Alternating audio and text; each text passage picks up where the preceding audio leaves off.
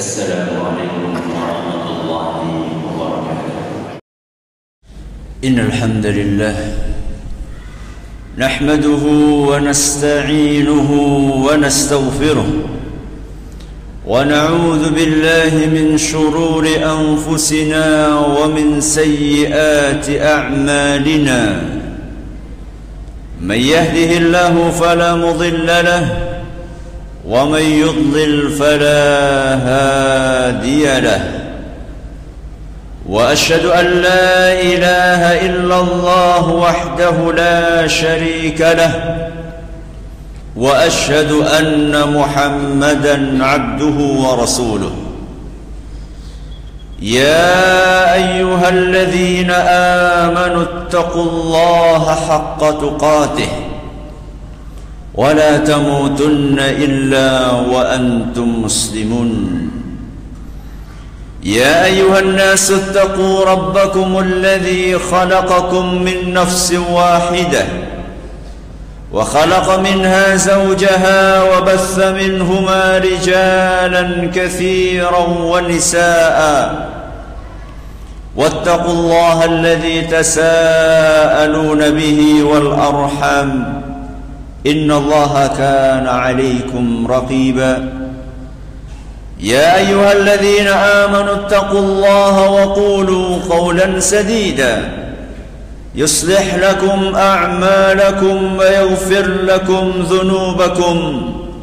ومن يطع الله ورسوله فقد فاز فوزا عظيما. أما بعد فإن أصدق الحديث كتاب الله. وخير الهدي هدي محمد صلى الله عليه وعلى اله وصحبه وسلم وشر الأمور محدثاتها وكل بدعه ضلاله jamaah Jumat rahimakumullah Marilah kita tingkatkan ketakwaan kita kepada Allah Subhanahu wa taala dengan ketakwaan yang sebenar-benarnya yaitu dengan mengamalkan apa yang diperintahkan oleh Allah Azza wa Jal dan oleh Rasulnya sallallahu alaihi wa ala alihi wa sahbihi wasallam serta menjauhi apa yang dilarang oleh Allah Azza wa Jal dan oleh Rasulnya sallallahu alaihi wa ala alihi wa sahbihi wasallam Jamaah Jumat yang semoga senantiasa dimuliakan Allah. Roda kehidupan. Itulah barangkali salah satu ungkapan yang pas untuk menggambarkan perjalanan kita di dunia yang fana ini. Roda yang berputar kadang di atas dan kadang di bawah ada kehidupan dan ada kematian. Ada kondisi sehat dan ada kondisi sakit. Ada rasa senang dan ada pula rasa susah. Ada kondisi kaya dan ada kondisi miskin. Ada saatnya naik jabatan dan ada saatnya pula turun dari jabatan. Ini semua adalah bagian dari ujian kehidupan. Allah Subhanahu wa taala berfirman, "Wa nabluukum bisyarri wal khairi fitnah." Kami atau Allah akan menguji kalian dengan keburukan dan kebaikan sebagai bentuk cobaan. Al-Quran Surat Al-Anbiya ayat 35 maka beruntunglah. Beruntunglah para manusia yang sukses dan berhasil melewati berbagai macam ujian yang sangat beragam tersebut dengan baik. Kaum muslimin dan muslimat yang kami hormati tidak mudah memang. Tidak mudah untuk sukses dalam melewati berbagai macam ujian yang sangat beragam itu ada yang sukses saat diuji dengan kekayaan namun ternyata dia gagal ketika diuji dengan kemiskinan. Ada pula yang sebaliknya, sukses saat diuji dengan kemiskinan, tetapi gagal ketika diuji dengan kekayaan. Ada yang sukses saat diuji dengan kesehatan, namun gagal ketika diuji dengan sakit. Sebaliknya, ada yang sukses saat diuji dengan sakit, tapi dia gagal ketika diuji dengan kesehatan. Ada yang sukses ketika dia naik jabatan, namun gagal ketika diuji dengan turun jabatan. Ada pula sebaliknya, yang sukses justru ketika turun jabatan, namun gagal ketika diuji naik jabatan. Bagaimana gerangan caranya? Agar kita bisa sukses selalu di dalam menghadapi berbagai macam ujian yang sangat beragam tadi. Faktor yang pertama, faktor yang terutama yang diperlukan oleh seorang hamba agar dia sukses melewati segala jenis ujian adalah taufik dan bantuan dari Allah Azza wa Jalla. Taufik dan bantuan dari Allah Azza wa Jal itulah modal utama dan pertama bagi orang yang ingin sukses menghadapi berbagai macam jenis ujian kehidupan. Jamaah Jumat yang dirahmati Allah. Taufik dari Allah merupakan karunia merupakan karunia yang diberikan oleh Allah kepada siapa pun yang dia kehendaki. Tidak peduli apakah dia pejabat atau rakyat jelata. Tidak peduli apakah dia pria atau wanita. Tidak peduli apakah dia tua atau muda.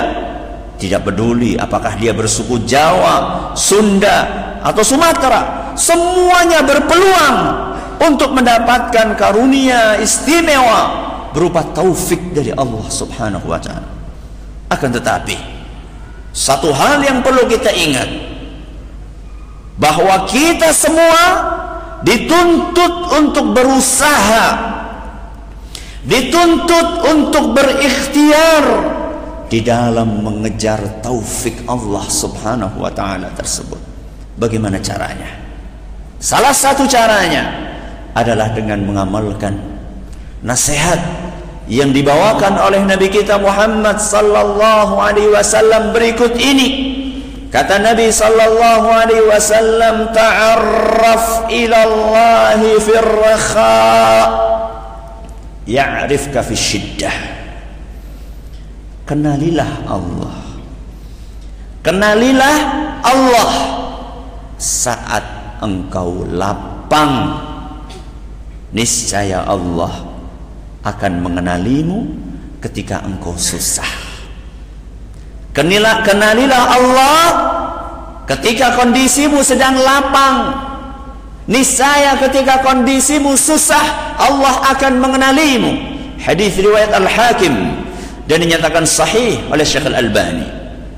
Apa maksud mengenali Allah? Dalam kitab Jami'ul Ulumi wal Hikam Al-Imam Ibn Rajab rahimahullah menjelaskan maksud dari mengenali Allah saat lapang adalah bertakwa. Bertakwa kepada Allah dan menjalankan aturannya. Barang siapa yang menjalankan hal tersebut berarti dia telah mengenal Allah. Kalau dia sudah mengenal Allah, maka dia punya hubungan spesial dengan Allah.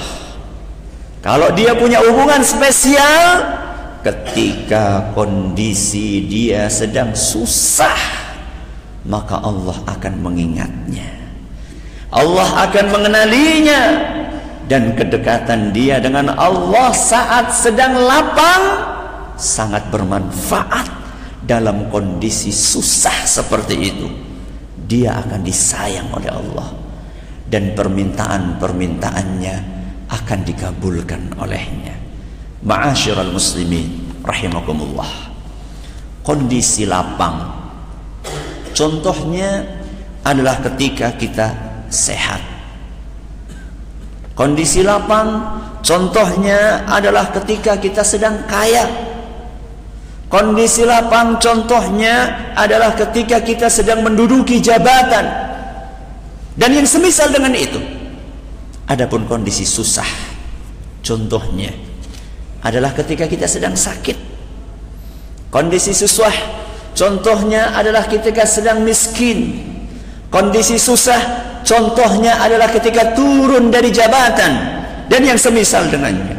Maka ingat ketika kondisi fisik kita sedang sehat gunakanlah kesempatan emas itu untuk lebih bersemangat di dalam beribadah kepada Allah Azza wa Jalla. Menjalankan perintah-perintah Allah menjauhi larangan-larangannya. Tunaikan solat berjamaah di masjid. Ringan tanganlah di dalam membantu orang lain yang membutuhkan bantuan apabila itu kita lakukan.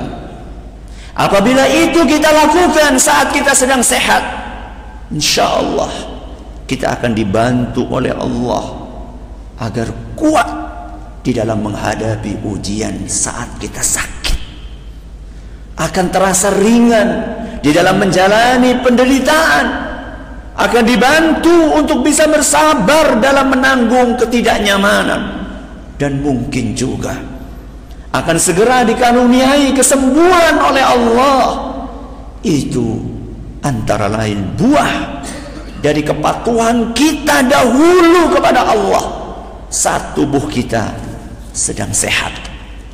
Setali tiga uang.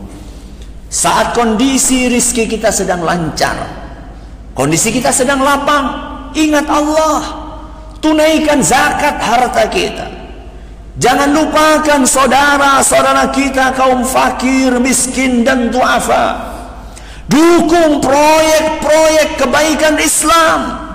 Apabila itu kita jalankan, insya Allah ketika rizki kita sedang seret keimanan kita akan tetap kokoh karena dijaga oleh Allah Azza Rizki yang sedikit akan tetap cukup untuk mencukupi kebutuhan kita karena diberkahi oleh Allah Subhanahu wa taala. Dan mungkin badai ujian ekonomi tersebut akan segera berakhir. Itu antara lain buah dari ketaatan kita kepada Allah saat rizki kita dahulu sedang lancar. Tidak jauh berbeda. Manakala kita menduduki kursi jabatan. Manakala kita menduduki kursi jabatan. Pergunakanlah kesempatan emas ini untuk mematuhi. Untuk mematuhi dan menjalankan aturan-aturan Allah. Bukan justru melanggar aturan-aturan Allah. Adakan kegiatan-kegiatan positif yang tidak menabrak aturan agama. Berusahalah untuk meningkatkan kesejahteraan rakyat bukan justru memperkaya diri dan kroni-kroni. Imbangkanlah pembangunan fisik dan mental jasmani dan rohani jangan timpang di antara keduanya apabila seluruh kebaikan itu ditunaikan insya Allah saat turun dari kursi jabatan anda akan tetap disegani dan dihormati oleh rakyat dan bawahan. Anda akan ikhlas dalam menjalani ketetapan Tuhan serta yang paling istimewa dari itu semua insya Allah anda akan meraih keridhaan dari Allah yang Maha Rahman. Itulah buah manis dari kepatuhan kita kepada Allah saat dahulu sedang menduduki kursi jabatan. Aqulu qawli hadha wa astaghfirullah li wa lakum wa li jami'il muslimina wal muslimat fastaghfiruhu innahu huwal ghafurur rahim.